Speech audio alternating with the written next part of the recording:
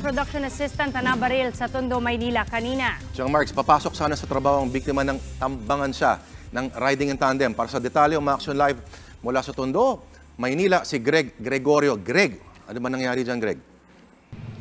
Lord, batay sa kuha ng CCTV bandang alas 8.30 kanina nang naglalakad na sana papasok sa trabaho itong si Roy. Kadalasan daw siyang pumapasok kasabay ang pinsan at kumakain muna sa isang karinderya bago bumiyahe. Pero kanina mag-isa lang siya at hindi rin kumain sa karinderya. Saglit nitong kinausap ang may-ari ng karinderya pero umalis din agad. Bahagya naman siyang tumigil sa harap ng isang motorsiklo na palagian naman daw niyang sinasakyan. Habang kausap ang driver, maya-maya mapapansin ang isang lalaking naka-blue na t-shirt na lumabas sa pinanggalingang karinderya ni Roy. Ilang saglit pa ay bumunot na ito ng baril. Saktong nakita ito at nasalag ng biktima sa kahinampas ng bag ang sospek. Isang tama ng baril sa ulo ang tinamo ni Roy pero ayon sa mga pulis, daplis lang ito. Kapwa na bigla mga kapitbahay ni Roy, pati na rin ang mismong may-ari ng karinderya na, na isa sa mga huli niyang nakausap. Narito naman ang kanyang pahayag. Sumilip lang niya, tinignan niya lang kung ano yung kakainin niya siguro. Wala siguro yung kakainin niya. Kaya bigla na lang siyang umalis agad. Maya maya may nadinig na akong putok.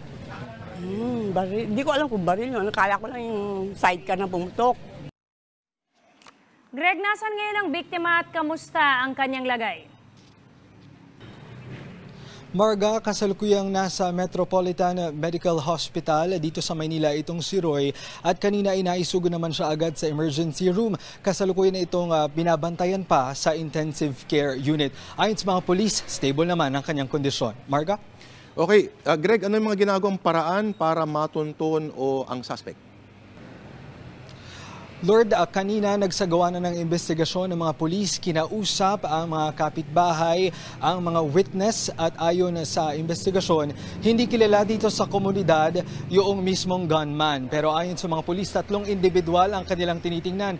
Yung mismong gunman, yung driver ng motor na nagsilbing ah, lookout at driver ng getaway vehicle na kanilang ginamit at ang isa pang nakatayo daw sa may kanto na posibleng lookout din.